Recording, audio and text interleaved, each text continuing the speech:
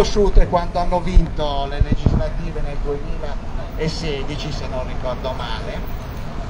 Ma il cui risultato è stato devastante perché da lì dalla vittoria dell'opposizione nelle legislative al Parlamento venezuelano dove praticamente l'assemblea legislativa è rimasta bloccata per tutto il tempo ed è da lì che viene autoproclamato Guaidó come presidente interino del Venezuela. Adesso perché oggi non possono riconoscere, non possono legittimare ancora una vittoria di Maduro in Venezuela?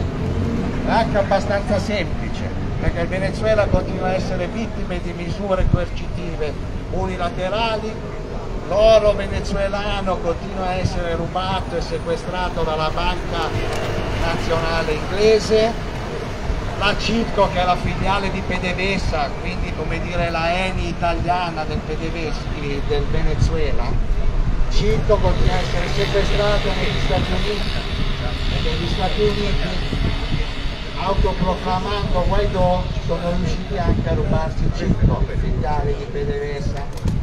Quindi anche per tutti questi motivi loro non possono riconoscere nessuna vittoria di Maduro. Adesso non sappiamo quanto durerà ancora questo tentativo di colpo di Stato. Quello che mi sento di dire è che i militari venezuelani, la FAMB, rimarranno fedeli alla Costituzione. Il problema sarà nelle strade, perché ormai è anni che l'opposizione venezuelana, l'estrema destra, i fascisti venezuelani, tramite l'ex governo colombiano, tramite la CIA, hanno forti, hanno forti comunicazioni col paramilitarismo colombiano, con mercenari che vengono portati dalla Colombia in Venezuela per creare il caos, per assassinare persone, e non dimentichiamoci che in questi giorni anche a Caracas sono stati attaccati tutti i vari leader del popolo del quartiere, coloro che si occupano di distribuire il platto, sono successe tante cose. A livello legale e giudiziario, ieri se non vado errato l'altro ieri Maduro è andato al Tribunale Supremo di Giustizia e al Tribunale Supremo di Giustizia Maduro dichiara che il PSOV è disponibile a portare gli atti di ogni seggio, cosa vuol dire? Io lì ho, sono stato un anno, mi hanno fatto fare l'osservatore elettorale in Venezuela. Devo dire che il sistema elettorale venezuelano è difficilissimo, quasi impossibile fare una frode sul sistema elettorale venezuelano.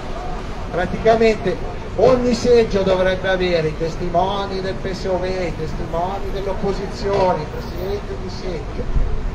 A fine elezioni ogni macchinario stampa un atto dove c'è, scritto quanta gente hanno votato e come hanno votato. Il problema è stata nella trasmissione di questi dati perché il sistema è stato tutto hackerato. Però ogni macchinario ha suo atto. E quando corrisponde il car numero cartaceo delle persone che hanno votato con il numero elettronico, il seggio vuol dire che a posto per cui lo si vedrà. Non date rete ai giornali che tutto è stata una truffa perché il chavismo ormai anni che ha quella forza elettorale lì. Se noi prendiamo tutto il registro elettorale chi non vota e chi non vota il chavismo da anni vale più o meno il 25-30% dei voti di tutto il registro. Il che vuol dire che se vota il 60-65% degli aventi diritto siccome il PSOE ha grande capacità di mobilitazione di portare la gente a votare, vince, arriva al 50-51% dei votanti, quindi non è una novità e non è una sorpresa. Io vi ringrazio perché devo veramente scappare, se no direi ancora qualcosa. Grazie a tutti. Grazie. Dai, corri.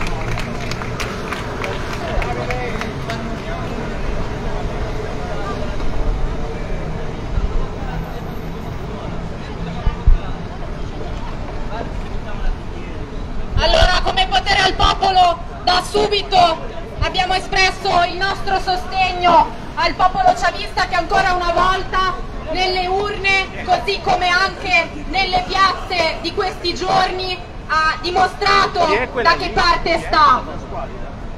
ha dimostrato di essere contro ancora una volta quelli che vogliono riportare il paese, il Venezuela, sulle strade dell'imperialismo, del colonialismo, del controllo da parte dell'Occidente e degli Stati Uniti. E quindi abbiamo espresso il nostro sostegno a questo processo di, emancipa di, emancipazione politica e sociale che si è aperto ormai 25 anni fa e per l'ennesima volta gli Stati Uniti con tutta la gran cassa mediatica occidentale hanno tentato la destabilizzazione, la destabilizzazione del paese, un tentativo che si accompagna, come dicevano prima, ai, alla, alla costante tentativo di mettere in ginocchio anche da un punto di vista economico il paese affamando, affamando, il popolo con le sanzioni, ma nonostante questo il popolo chavista ancora una volta ha dimostrato, ha dimostrato da che parte sta e anche a noi in Italia tocca dimostrare tutto il nostro sostegno e la nostra solidarietà per un'ipotesi, un'opzione politica che nel mondo rappresenta una possibilità di un'alternativa sistemica alla, alla barbarie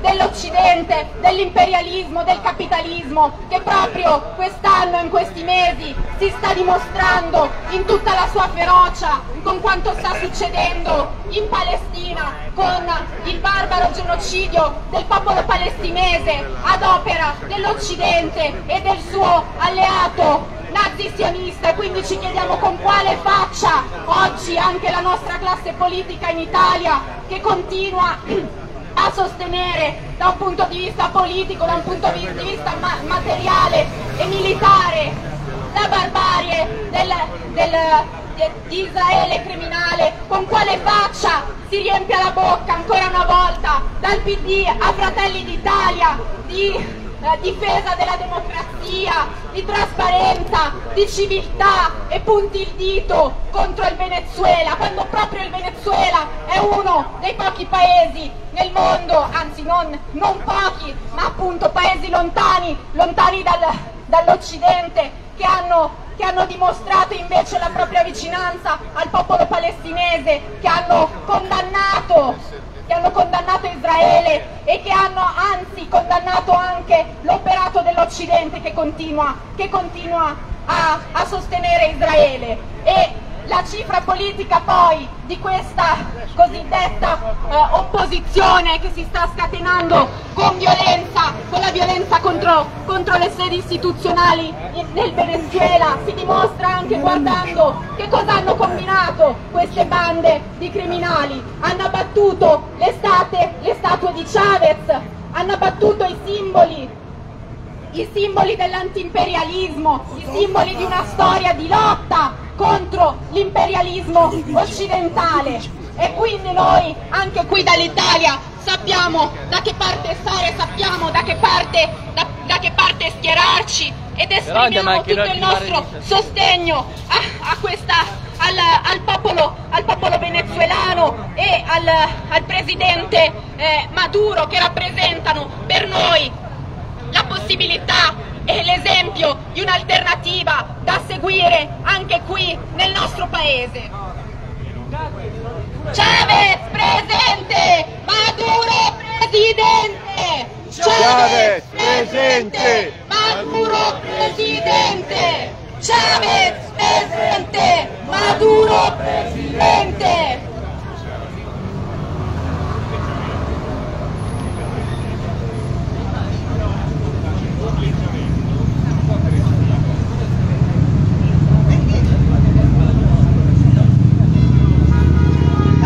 accusa di essere di parte. Io vorrei dire che noi rivendichiamo di essere di parte, perché ci sono momenti nella storia in cui si sceglie appunto da che parte stare. Quello che accade da 15 anni a questa parte in America Latina, con il law affair, con la messa sotto accusa dei presidenti progressisti non graditi a chi vorrebbe che continuasse a essere il patio trasero, il cortile di casa, che abbiamo visto con Correa, abbiamo visto con Lula, con Dilma, abbiamo visto il tentativo di colpo di Stato in Bolivia, ma soprattutto vediamo il doppio standard dell'Unione Europea, ha, io vorrei ricordarvi chi, chi ha dimenticato il mitico Guaidò autoproclamato presidente che ha fatto un giro dal Parlamento europeo al Parlamento italiano per poi tornare esattamente nel luogo in cui doveva stare e sparire dalla storia. Allora noi per l'ennesima volta come Rifondazione Comunista siamo stati invitati come accompagnatori elettorali anche in questo processo e su questo vi invito questa sera alle 20.30 sulla pagina nazionale di Rifondazione Comunista a una diretta in cui il nostro responsabile Marco Consolo, rientrato ieri, ci spiegherà bene sia cosa è successo durante le operazioni di voto, sia quello che sta succedendo oggi. Ma a me quello che preme è davvero ricordare quello che noi dovremmo fare da questa parte del mondo, perché non basta essere solidali, non basta continuare a guardare le rivoluzioni che fanno negli altri paesi, dovremmo cominciare anche noi ad agire in maniera tale da dire, avere la possibilità di mettere in pratica quelle che sono le teorie e il pensiero e le azioni del socialismo del XXI secolo, perché a coloro che accusano il governo del Venezuela con, in maniera mistificatoria, iniziando qualunque articolo di giornale definendolo regime, quindi già prendendo una posizione. Vorremmo ricordare come è stato detto, come funziona il sistema elettorale venezuelano, quali sono stati i cambiamenti in Venezuela durante i governi del socialismo bolivariano. Quello che invece noi dovremmo pretendere è l'eliminazione delle misure coercitive unilaterali, le sanzioni imposte al Venezuela così come a Cuba, che sono violazioni costanti dei diritti umani. In Venezuela, così come è accaduto in Iraq durante gli 11 anni di embargo, non si può fare un attacco perché il sistema operativo è statunitense e non può essere aggiornato. Però di questo non si parla. Noi andiamo, i nostri media, lo, la strumentalizzazione di quello che è la narrazione rispetto ai paesi che sperimentano una maniera diversa di praticare il socialismo deve essere stravolta. Allora ancora una volta non basta la solidarietà e noi dobbiamo impegnarci per far sì che anche da questa parte del mondo si costruiscano rapporti e relazioni che permettano l'autodeterminazione dei popoli, la realizzazione di società più giuste, più eque e anticapitaliste. Vi ricordo questa sera 20.30 sulla pagina di Rifondazione un approfondimento da chi è appena rientrato dal Venezuela. Grazie ancora. Siamo qui oggi in presidio anche come cambiare rotta per portare la nostra ferma solidarietà al legittimo presidente democraticamente eletto Nicolás Maduro e al popolo chavista che a milioni in questi giorni è sceso per le strade delle città venezuelane per proteggere e difendere il processo rivoluzionario bolivariano. Di fronte al tentato golpe della destra, dell'ultradestra, delle oligarchie del paese, supportate dagli Stati Uniti e da tutto il blocco occidentale. Il blocco occidentale, dimostrando il suo disprezzo per una reale partecipazione democratica e per contrastare la transizione al socialismo del Venezuela, ha fatto partire la sua spietata macchina mediatica, supportando di fatto i fascisti golpisti, che ha, che ha, gridato e grida al, al, broglio elettorale, broglio che sappiamo benissimo essere, non esserci stato, come confermano decine e decine di osservatori internazionali di presenti. Siamo qui davanti al consolato statunitense in quanto simbolo del barbaro imperialismo euro euroatlantico e dei suoi continui tentativi di destabilizzazione nei confronti di chi sta costruendo, con successo e nonostante le difficoltà imposte dalle sanzioni occidentali, una reale alternativa alla barbarie del capitalismo. In quest'ottica non possiamo non denunciare anche il governo italiano, che negli ultimi giorni ha dimostrato ancora una volta di sposare, anzi essere attivo promotore della narrazione sul broglio elettorale e sul cosiddetto autoritarismo di regime di Maduro. Membri del governo come italiani hanno non solo rifiutato il risultato di un processo elettorale veramente democratico, ma addirittura criminalizzato le misure prese dal governo di Maduro contro il tentato golpe di Stato, apertamente supportando in questo modo i guerriglieri fascisti che hanno messo in atto il golpe e una campagna di destabilizzazione del paese, tra cui il terrore nelle strade e la distruzione dei simboli della rivoluzione bolivariana, col pieno supporto delle potenze imperialiste. Il nostro governo, così come tutta la sinistra occidentale, schierandosi come ha fatto il, contro il risultato elettorale e quindi contro la transizione socialista del Venezuela, mostra la sua vera natura di fieri gendarmi dell'imperialismo. Noi non ci stiamo e portiamo tutta la nostra solidarietà al popolo venezuelano, che si è dimostrato ancora una volta un popolo cosciente, determinato a difendere il processo rivoluzionario bolivariano di transizione al socialismo. Questa coscienza e questa determinazione spaventano i paesi imperialisti, giustamente li spaventano, perché sanno che paesi come il Venezuela, paesi come Cuba socialista rappresentano l'anello debole dell'imperialismo. Per questo motivo per noi comunisti paesi come il Venezuela, paesi come Cuba sono un faro di speranza e di civiltà per il riscatto del, del sud globale dei popoli del, tricontinente, così come delle fasce popolari, dei lavoratori, delle giovani generazioni, eh, anche qui da noi, nel cuore dell'imperialismo. Con la loro lotta all'imperialismo yankee, con la promozione di un mondo multipolare, con l'impegno internazionalista plasticamente dimostrato nel cieco sostegno alla resistenza palestinese contro il genocidio a Gaza, di fronte al quale il blocco occidentale continua a chiudere gli occhi, e ancora con le riforme sociali ed economiche veramente progressiste portate avanti da Chavez ieri, da Maduro oggi, la Repubblica Bolivariana del Venezuela ci mostra la via per la costruzione di un'alternativa alla barbarie e per la costruzione di una nuova umanità. Al fianco di Maduro Presidente, con Chavez Presidente, viva il Venezuela, viva Chavez, viva la rivoluzione bolivariana. Maduro Presidente! Chavez Presidente! Chavez Presente! Maduro Presidente! Chavez Presidente! Maduro Presidente! Chavez Presidente! Maduro Presidente! Maduro Presidente! Scrivono la storia! Venezuela! Viva la vittoria! I popoli in rivolta! Scrivono la storia con il Venezuela. Viva la vittoria! Basta, basta! Ragazzi, stiamo parlando il mondo. Dai. un cazzo di presidio se lo studentesca alternativa diamo il nostro voto al popolo chavista in Venezuela e a Nicolás Maduro nelle elezioni di eletto presidente portando avanti la rivoluzione bo- bolivariana con un costante carattere socialista e antiimperialista. Vediamo come il popolo venezuelano si stia mobilitando in sostegno al PSOV e al presidente Maduro e contro gli oligarchi e le loro squadre eh, di agitatori che vogliono il Venezuela come una colonia degli USA. Nel nostro paese stiamo assistendo ad una vera e propria guerra di propaganda contro il Venezuela bo- boliviano. In sostegno delle forze reazionarie e fasciste che agiscono con violenza contro le istituzioni pubbliche del paese e, e, fonda- è fondamentale sostenere la lotta al popolo chavista per smascherare la propaganda imperialista, imperialista, in continuità con la lotta internazionalista verso la Palestina. I popoli in rivolta scrivono la storia con il Venezuela fino alla vittoria. I popoli in rivolta.